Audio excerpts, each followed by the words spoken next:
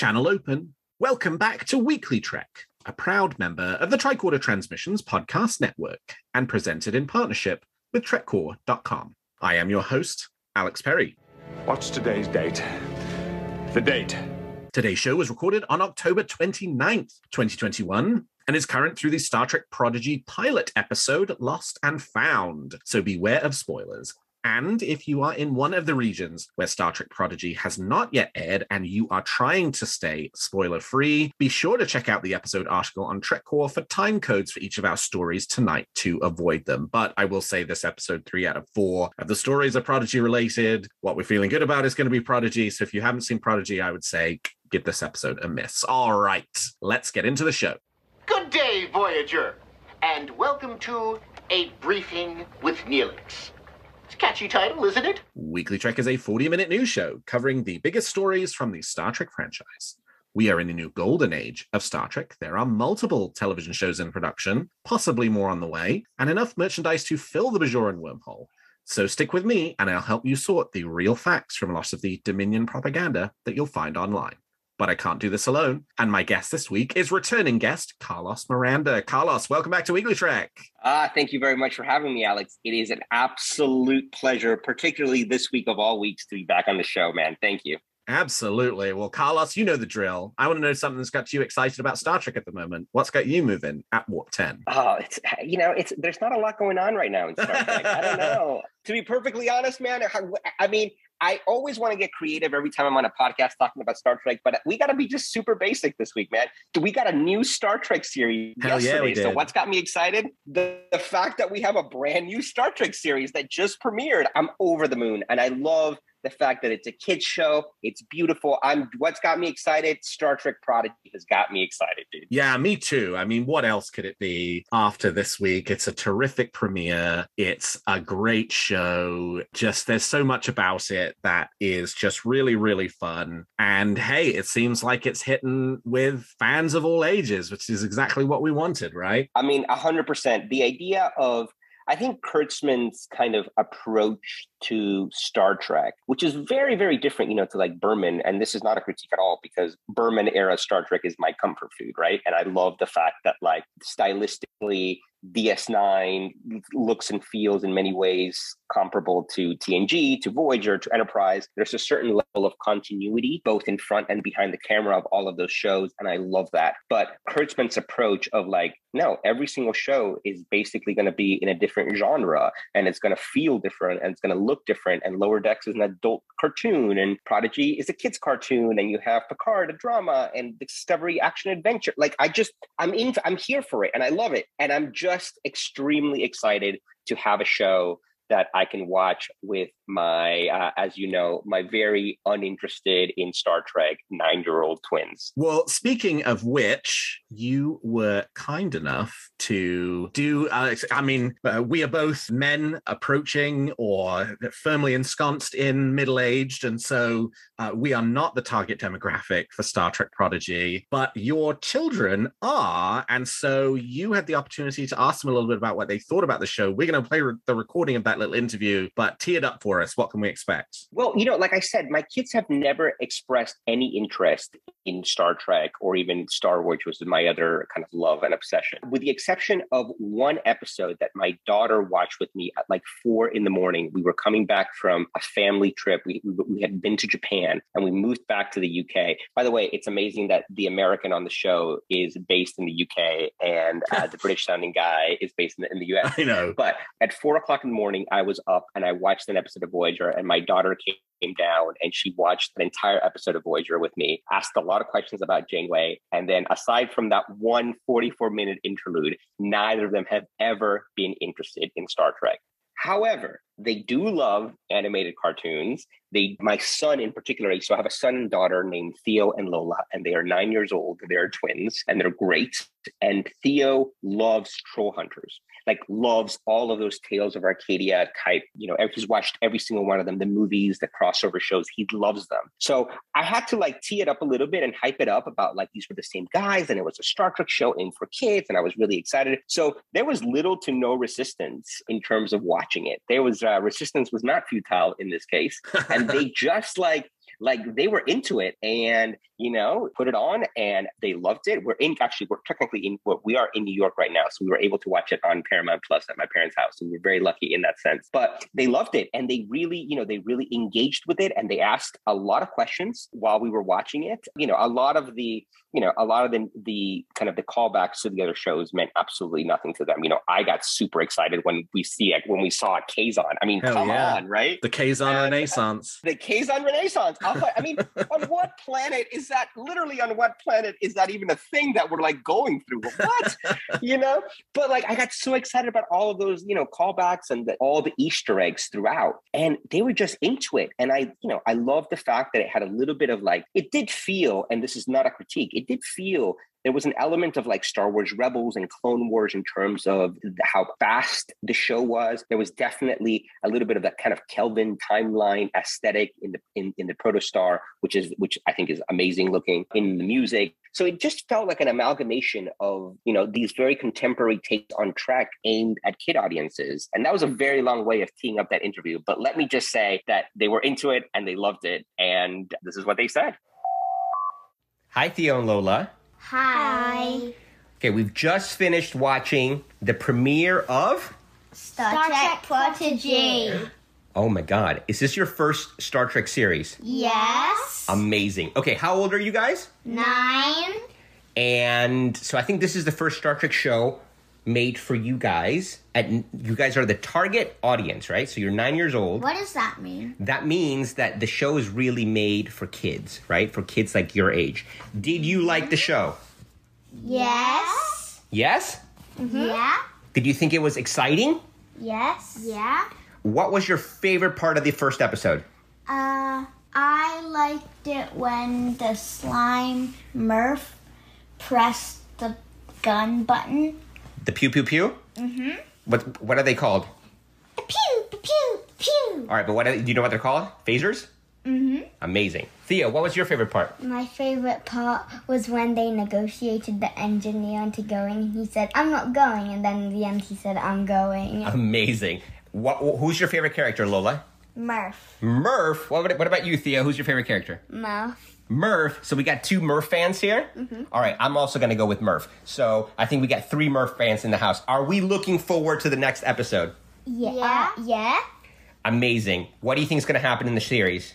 They're gonna go to They're lots gonna of different planets. They're gonna destroy the and have lots of adventures. They're gonna destroy the What was it called? the prison place. Uh huh. But what was the bad guy called? Do you remember? The the diviner. The Diviner. Amazing. So are we looking forward to the next episode? Yes. Yeah. Awesome. Okay, well, there you go. That is the key audience right there for Star Trek Prodigy. So I think we're moving in the right direction. So, with that, let's turn to the week's top stories. There's a war going on, and I'm a reporter. In an interview published at The Hollywood Reporter, Star Trek franchise showrunner Alex Kurtzman and new Paramount Pictures CEO Brian Robbins, who was previously the head of Nickelodeon and gave Prodigy the green light, talked about their hopes and dreams for the show, which includes the possibility of more family friendly series and a theatrical movie based on Star Trek Prodigy. I won't spoil them, but we've talked about a bunch of different ideas. If Prodigy is a success and works for everybody, then hopefully there will be lots of conversations about how to build it out from there because it's going to make sense for the company, Alex Kurtzman said. And when asked about how Prodigy's success could be measured, Brian Robbins said, quote, I have no doubt that we'll be doing more. Alex and I have talked about what the theatrical film version of this show is and the likes of that. We're really excited.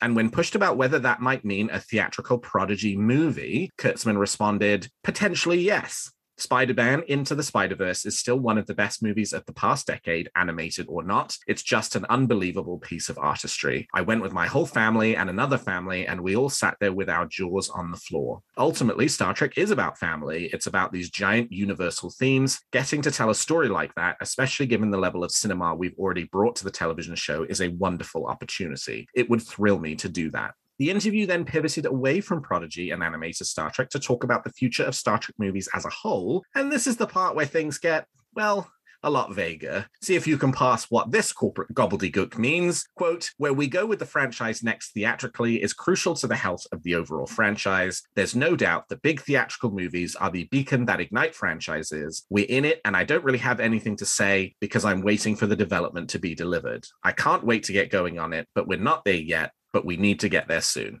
And perhaps most interestingly, when asked whether J.J. Abrams or Alex Kurtzman might shepherd Star Trek movies forward, Robbins said, quote, We don't know enough yet. We're working on several fronts, and obviously Alex is the key for the franchise on Paramount Plus. JJ has been the keeper of the franchise on the film side, and we hope that as a company that we do what's right for the franchise altogether. Carlos, what do you think about the prospect of more family friendly Star Trek and the admittedly far off potential, but seems like the potential nonetheless for an animated Star Trek Prodigy movie? Now, I read this and in no way, shape, or form is this surprising. If you, particularly if you have small kids, right? Like if you, if they watch anything on like the Disney Channel or, or Nickelodeon, and my kids are obsessed with a bunch of these shows, you know, all of these shows, the moment they're successful, have spin out shows and they all have like made for TV movies that may or may not be released theatrically. I mean, this is not something that like will be unique in any way, shape, or form to Prodigy, and it's definitely not unique to Nickelodeon. So many of the shows, um, you know, I'm thinking of like my kids are obsessed with a show called Loud House, and Loud House is amazing. Like as a parent who watches a lot of kid shows with their kids, I love Loud House, and Loud House spun out a show called Casa Grande, which is like the equivalent, but from like a Hispanic family, and now they've branched out into movies right? So the show, con- Loud House continues, you know, Casa Grande continues, and now they're like working on their second th- theatrical movie. A hundred percent, you know. And again, the Disney Channel does exactly the same things.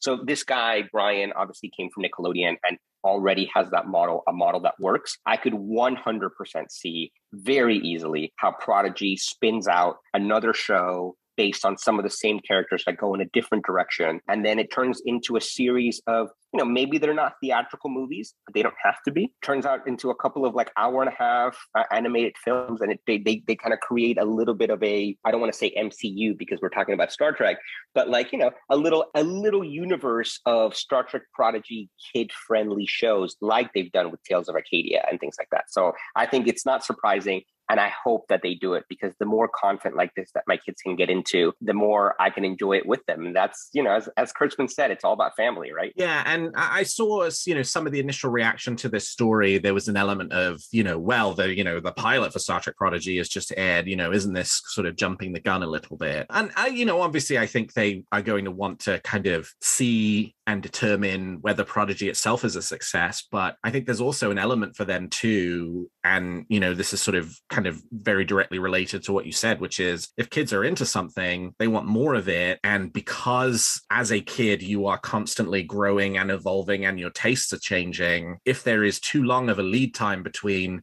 I really liked this. And the next thing that kind of continues that enjoyment, it's potentially been too long and you've grown up too much and you've sort of moved away from it and are no longer necessarily as interested. And we know that these shows and these projects will have relatively long lead times to them. I mean, Prodigy was announced two years ago and it's now just hitting the screens. So if they want to do some of these other tie in projects, if they find that Prodigy itself is a success, they're going to want to get going on them as quickly as possible to kind of capture the excitement of the audience who is participating and enjoying it right now. And so I think it is smart of them to be thinking now about what some of those options could be, because otherwise they potentially run the risk of missing the boat a little bit, given that to get a, an animated Star Trek Prodigy movie together might take two, three years. Yeah. And honestly, you know, these guys are talking to the press right now. There is no doubt that a lot of the development has already happened behind the scenes for a potential. Now, I'm making this up, right? I don't have any insider knowledge or anything, but knowing a little bit about the development process, particularly of animated films and animated series, on the one hand, like as you rightly pointed out, it takes years from conception and development to getting the first episode aired. So I would not be surprised if already somewhere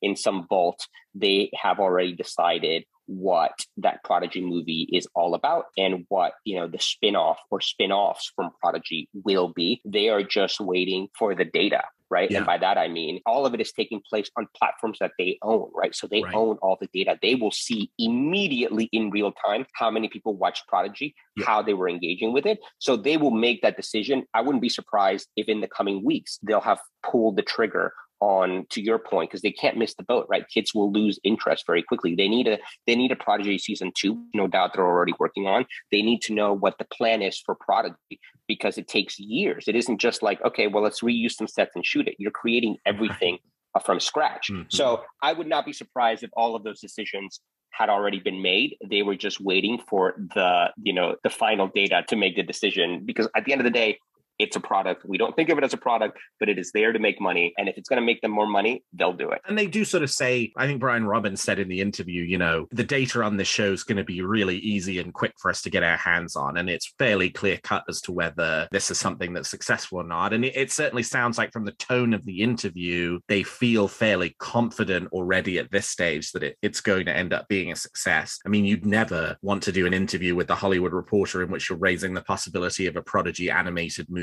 if you're not kind of you know, if you're not sort of leaning very strongly in that direction of doing something like that. So you're not faced with an interview two years from now where someone goes, Oh, what happened to that Prodigy animated movie you talked about? And you go, Oh, well, the show wasn't successful enough for that to happen. You know, these corporate types don't tend to, you know, they're not freewheeling. Often a lot of this is is fairly strategic and calculated in terms of what they say when. And this interview definitely has that kind of feeling to it. I mean, the fact that it went up right the day of the premiere sort of indicates that, you know, there is buzz and there is interest in this show at the corporation that they're really looking to capitalize upon. And that's very exciting because so far what we've seen as a show is incredibly positive. Completely. Comple- I mean, I think everyone, you know, the reviews have been overwhelmingly positive. People, I think, at least on my Twitter feed, which is a very, I have to be honest, I curate it quite carefully, and so it's a very, a very, you know, a very positive spin on Trek. And from everyone, you know, the review that you guys had up on Trek Core, like it's just, it's just a great show, and it is what it is. I mean, I think you need to. This is not Berman Star Trek. This is not Voyager. You know what I mean? Like you have to go in knowing first and foremost that this is a show for kids. But if you go into it with that, it just works. Like all good all good kid shows, it works for the kids, but it also works at you know for the parents that are forced sometimes against their will to watch something over and over and over again. And, and I will say, on a on a meta level, I, I have been really pleased at the way in which a lot of the you know our slice of the Star Trek fan community have very much approached this show with that element of it being a kid show in mind right? Like the TrekCore reviewer for Prodigy is not me a 34 year old man with no kids. It's Jen Tift who has three kids of her own who are right in the bullseye of the target audience. Uh, the Trek Geeks Network, their Discovering Trek companion show, is going to be hosted by Mike Bovia and his daughter, who are, again, his daughter's right in that kind of is the intended audience for the show. And so I, it is really pleasing. You know, even the Trek movie uh, review, uh, of course, Anthony wrote it because he's done every one of every Star Trek episode since it came back in 2017. But at least, you know, he went out and found a couple of family members who have kids that he could show it to and get some reaction from it. So that has been really pleasing to me, the way in which again, our well curated slice of the fan community. Who knows what's going on in the rest of the Wild West? But that in the circles that we move in, they've definitely been approaching it from this sense of obviously, you know, you and I will enjoy the show. It's a Star Trek show. We love Star Trek and, and it's a great show. And so we'll enjoy it. But in terms of like what the point of the show is and who the target audience is, always being mindful of that and talking about it in that way is going to be really critical moving forward. And hey, hopefully we're talking about a lot more Prodigy stuff in the, you know, months and years to come because this is a really exciting new kind of avenue for Star Trek to explore that you know I think could could yield some really significant results. Yeah, correct. Yeah, I, I, I echo everything that you've said. I'm, I'm, I'm looking forward to the whole new kind of universe that Prodigy opens, and we've just barely scratched the surface. We haven't seen Chakotay and Co. You know what I mean? Like the fever pitch around this show is only going to get like louder and better. Captain Janeway actress Kate Mulgrew, who appeared at the end of the Prodigy pilot, Lost and Found as hologram Janeway, spoke to a group of press, including TrekCore.com, at a recent roundtable about the show and her appearance as Janeway. About hologram Janeway's role in Prodigy, she said, quote, Initially, she's there for the purposes of mentorship and guidance, but you soon come to understand that she is leading them in an unexpected way. I don't think I am allowed to tell you how that is. That's a spoiler. Suffice to say, the hologram is very much like Captain Janeway and has many of her traits and all of her better qualities. And the kids respond to those qualities accordingly. So it's not as if they're responding to some sort of machine. She also talked about how easy it was to return to Janeway in a voice acting role. Quote, it was easy, delightfully and refreshingly easy, which is a wonderful gift after having worked so hard for seven years to create the real Captain Janeway. To have her in my pocket like that and to have her spring out with such alacrity and such vivacity pleases me very much. It's a pleasure. And at this point in time, 26 years later, it should be nothing short of a pleasure. And on her influence on the design for animated Janeway, Kate Mulgrew said, quote, we were in very close collaboration because it's important to me that my physical features be exaggerated in just the right way. It's easy to get that wrong but these animators did beautifully, so that the eyes are a little enhanced, the face itself is a little shortened, a little square, the mouth is more facile. Children need to respond to the eyes and the mouth every inch and step of the way, from the hair, which you know was diabolically difficult for a real Janeway, and these guys, Kevin and Dan Hageman, are just terrific to work with. Carlos, we obviously only got a very brief glimpse of hologram Janeway at the end of the pilot. Are you looking forward to seeing more of Kate Mulgrew's hologram Janeway next week? I mean, come on, what's going to be the answer to that? Of course, I think I think we are. You know, you said earlier we're one hundred percent in the golden age of Star, or a new golden age of Star Trek. My friend Steven and I wrote an article. We co-authored an article for Trek News. I mean, before Disco came out, so like I don't know, in twenty early 2017, talking about how like if Discovery is successful, it will usher in a new golden era of Star Trek. And you know, it wasn't like it wasn't some uh, we, you didn't need to be like have the intelligence of a Q or anything. It was very obvious, but it's amazing that we're actually in it, right? And to me, you know, what's really amazing about this new golden age of Star Trek, and I'm so excited for this, is, and I'm very surprised by this, not in a bad way, but how much basically every new incarnation of Star Trek is serving in some roundabout way as a sequel to Voyager, which I've never in a million yeah. years. I'm uh-huh. like, what? You're bringing back, you know, we in a span of a few months, we have two major kind of points of, of two different shows with Kazon. You know, we're bringing back Tom Paris, obviously, you know, Seven and Picard, but we got Icheb, we're getting Chakotay, like obviously Janeway,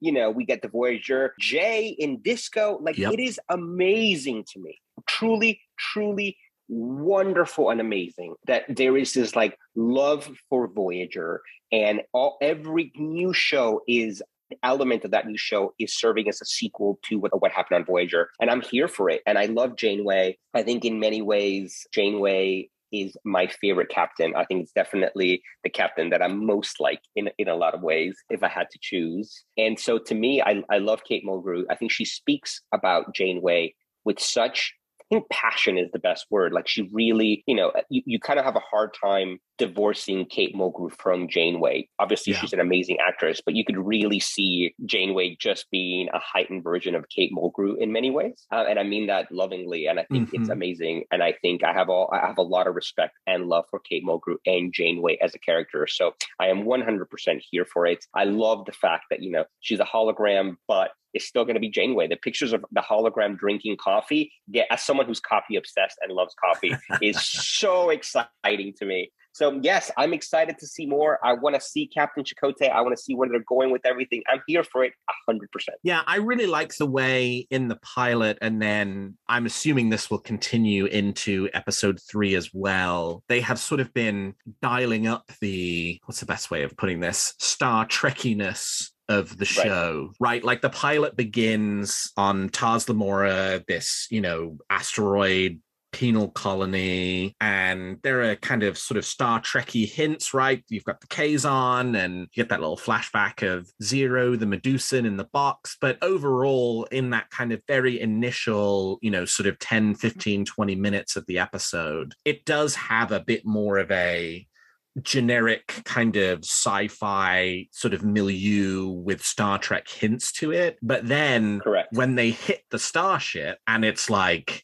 you know, we find the protostar and we go aboard, and then you get a bit more of that kind of, you know, you know, a bit more of the LCARS and a bit more of the sort of Starfleet and Federation iconography. And then you get towards the end of the episode, and you know, sort of the throughout the episode, you know, it begins with kind of an every man for himself mentality. And then by the end of the episode, it's very much sort of like, no, you know, we're only going to get out of this if we work together style, which of course is very Star Trek message. And then you hit the end of the episode and hologram Janeway appears. It feels like in many ways it's sort of easing the audience into that sort of Star Trek milieu without kind of hitting you straight off of the bat with a starship and a bridge and you know all of those kind of sort of features that we otherwise would be really familiar and comfortable with but that the younger audience i think you know needs a little bit of time to build up to and i think now going into that third episode being on the ship being off off the asteroid the possibility of going anywhere and having hologram janeway at their side like i think the next episode is going to feel even more Star Trekky than the first episode did, and I think that's exactly what they wanted to happen. No, I agree. I think I think that they wanted to, you know, they didn't want to scare potential new audiences by making it too Star Trekky at the beginning. You got to ease them in, right? And I think that generic sci-fi, almost Star Warsy approach, Yeah. uh, was really smart. But you know, it had it was peppered with little Star Trek things here and there. And by the Mhm. and to your point, by the time they hit the protostar, which, as an aside, I love kind of late 24th century aesthetics, right? The, way Dax geeked out about 23rd century aesthetics is the way Yep. I freak out about about 21st century aesthetics. Sure. And I just, whenever they design a new starship that takes place in that timeline and they knock it out of the park, like I think the Protostar is stunning. Like I cannot wait for the Eaglemoss, you know, version. I can't, I can't wait. And whether my kids want it or not, I'm buying them each one.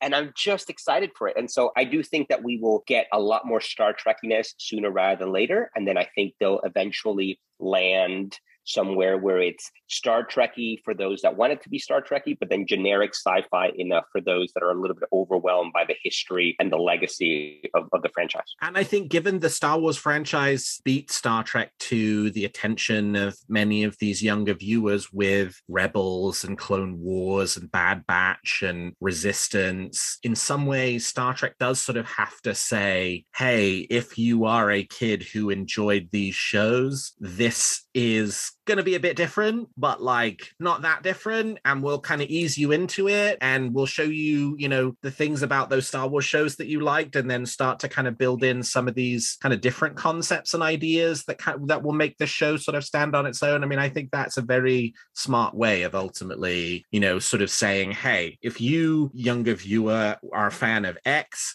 let me introduce you to Y and give you this what will ultimately end up being a slightly different experience, but not so different that you're not going to want to make that crossover. Yeah, correct. I agree with that. And in another exciting development, Star Trek Prodigy fans won't have to wait a full year for the show's soundtrack like Lower Decks fans just did, because the soundtrack for Star Trek Prodigy will be releasing weekly with a selection of music from each episode of the series, which will culminate in a complete season one soundtrack release at the end of the season. The score for the pilot episode Lost and Found by the franchise's first female composer, Nami Melumad, is available right now for purchase or streaming on all major music platforms. In fact, as I was writing the exact script that I'm reading out right now, I was listening to that music. Carlos, did you enjoy the music for Star Trek Prodigy's pilot? The music was amazing. Like, but like way better than any that had any right to be. Like for a kids animated show, it was Mhm. amazing. Like I loved it, and I thought about the music while while it was. You know, a lot of times when you're watching a show, you're really into the story, and the music is ambient noise. It's very good. It heightens it, but it, it doesn't take the front seat. You don't Yeah. necessarily want it to take the front seat, but actually. It was amazing. It like it, it felt like it, it felt like you were listening to like a massive film score at times. And I was so here for it. I am someone that listens to, I listen to basically three or four soundtracks while I'm working a lot of the time. Mhm. Three out of the four will not be surprising to anybody. I have the Star Trek First Contact soundtrack on repeat, the motion picture soundtrack on repeat, which in some ways are basically exactly the same. Yeah, good choices. Star Trek Generations. Oh my God. Yep. When I was studying for my UK driver's license, I just listened to the Star Trek Generations like soundtrack on repeat for a long time because I, I I failed my I failed my my first written exam once and my my practical. So there was a lot of studying. And then last but not least, I went and the Thor Ragnarok soundtrack is my other one. I love the Thor Ragnarok soundtrack. Strongly recommend it to anybody out there. But I loved it. And so I look forward to kind of having adding Prodigy as enjoyable background music because I was really extremely impressed with it. Yeah, it really was good. I mean, I, you know, we had we had sort of heard the the theme from Michael Giacchino prior to the show being released, but you know, he composed the main title theme, but not the kind of episodic scores that was done by Nami Melumad. And she does a really terrific job here. I mean, again, the, the sort of music when they find the protostar and they're going aboard is so full of wonder and potential and possibility for what the adventures for these characters could be. There's some really nice uses of the sort of Alexander Courage kind of, you know, famous Star Trek flourish throughout that really kind of ground you in this being a Star Trek show. And even though, and we talked a bit about this in the episode last week in an interview, Melumad had said that there's not really much use of the Voyager theme throughout the show. Yes, there was not, you know, it's not like you heard the kind of famous, you know, Jerry Goldsmith Voyager kind of theme in the way that you did when Seven showed up on Picard with Jeff Russo's composition for that show. But at the same time, while you didn't hear the exact notes and the exact combination, there was a lot that felt very Voyager y about the music. And, and that was really nice and a really nice sort of continuation with this sort of serving as something of a spiritual sequel to that show. Oh, completely. And by the way, I mean, you called it out. I think one of the finest pieces of music from Picard, and I mean, that entire show is gorgeous from a from terms of soundtrack. But in Stardust City Rag, when Picard and Seven are talking about their experiences with the Borg, and the Voyager theme is slowly playing in the background, I think is was one of my like absolute favorite moments of kind of new Trek. And I think it's amazing how much that music, that Voyager theme, or any of those old old themes that we grew up with, how much the nostalgia that bubbles up inside of you and the emotion that they force is is amazing. And lastly, this week, following up on last week's story about the Center Seat documentary, we actually now have a release date for the 10-part Star Trek documentary that will premiere on the History Channel. Center Seat debuts on the History Channel on November 5th. Yes, that's later this week from the time that you're listening to this episode on the History Channel. It will run on History for the first four episodes out of the 10, and then transition over to History's streaming service, History Vault, for the remaining six episodes of the documentary run. As discussed last week, the documentary will cover the Star Trek franchise from its inception through the end of Star Trek Enterprise, and with 10 episodes, it will hopefully be able to get into more depth on parts of the Star Trek franchise that have not been well covered in documentary format. Carlos, no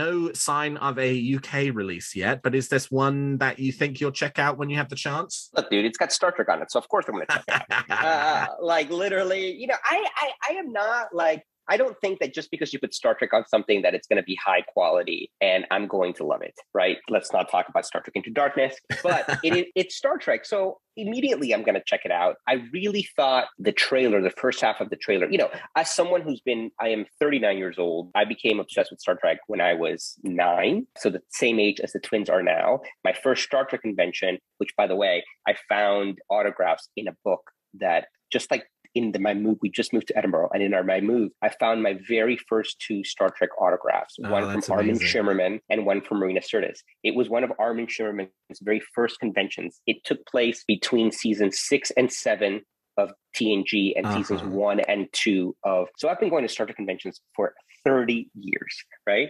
And I absolutely love it. That means, though, that I have read every, especially behind the scenes Star Trek. I love behind the scenes Star Trek. So I always approach these as types of things of like, am I going to learn anything new? Not because obviously I wasn't there or anything, but like I've consumed so much and you hear the same actors. You can only hear Kate Mulgrew has certain stories that she talks about how hard it was for her to play Janeway.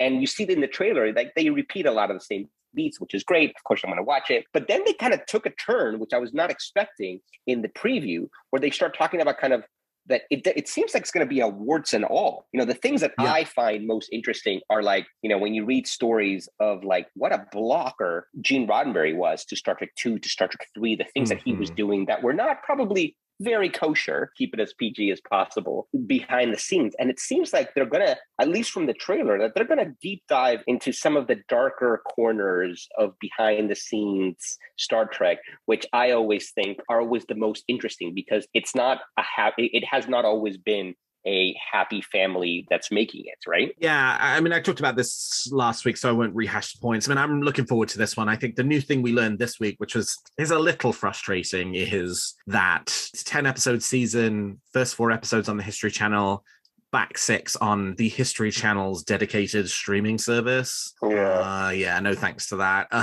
um, I think there's going to be one of those like sign up for the free trial, binge everything, and then cancel as quickly as possible type deals. I mean, obviously, I you know I understand why the network's probably doing that. The frustrating thing for me though is probably those last six episodes that I personally actually want to see the most, right? Because the first four are going to be more focused on like TOS animated series series, uh-huh. TOS movies. Just if like if if I if I had ten episodes to go between Inception to Enterprise, you know, I think probably the first three four are going to cover like TOS movie era animated series, maybe the birth of the next generation. But honestly, those are probably the parts of Star Trek history that are most well sort of covered. It's the next generation through to the end of Enterprise period that I really want more on, and that there's less documentaries about. And well, those are the episodes that are going to be on the History Channel streaming service. So I'm sure I'll suck it up in order to get access to them in some way, shape, or form. But it, I don't think that's a streaming subscription I'm going to hold on to for very long. No, I, I completely agree. And, you know, I have an American iTunes account. So, like, those are the kinds of things that when they're available, I'll just buy them and watch them once. But, you know, I, I, I check it up to the experience of like going to the movies, right? But yeah, I mean, I think that it's, you know, this is a topic for another podcast, my friend, but like the streaming wars, you know, I'm just looking forward to, they're just somebody to reinvent cable and you just pay a hundred Yeah, bucks or whatever right. it is and then you have access to all of them that's it you know like Yeah. like we're eh, what is you know what i do in my day-to-day life I, I run a technology company and you know the reality of it is that the old saying that every few weeks some tech bro reinvents the bus is 100% true right and this is i'm i just i look forward to you know whatever company is going to kind of put all of these services under one easy payment and yeah it's a pain in the butt but it is what it is All right. Well, we've talked about the facts, and now let's speculate on what's going to happen in the future of Star Trek. You make some very good points, Captain. But it's still all speculation and theory.